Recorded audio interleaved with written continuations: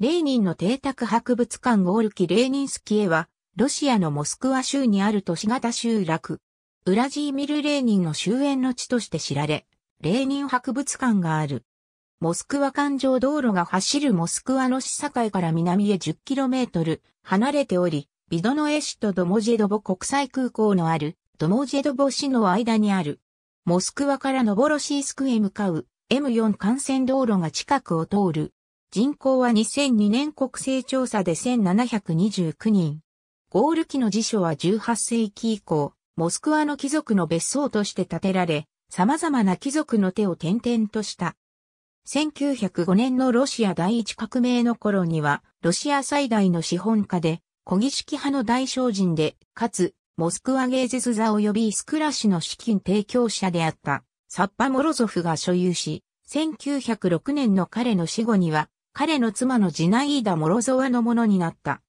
彼女は当時の気鋭の建築家、ヒョードル・シェーフテリと契約し、ゴール機の邸宅を今見るような新古典主義建築へと改造し、6本のイオニア式ポルチコを付け加えた。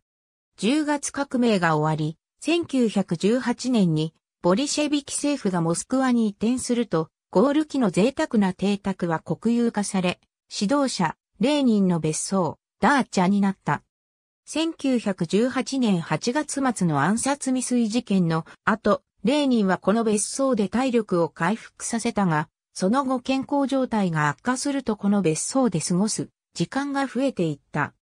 1923年5月15日、レーニンは医者の勧めでモスクワのクレムリンを離れゴール期に向かい、そこで反引退生活を送り、1924年1月21日に死去した。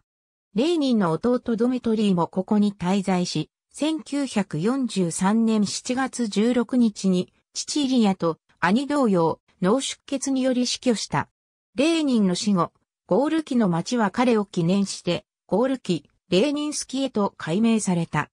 邸宅は保存され複数の博物館が置かれ、レーニンの所有品、レーニンのアパートの再現、クレムリンの執務室の再現などが展示されている。1958年には庭園の中に指導者の死と題された記念碑が除幕された。なお、ウラジーミル・プーチン大統領は祖父がゴール機で料理人として勤務していたことを語っている。ありがとうございます。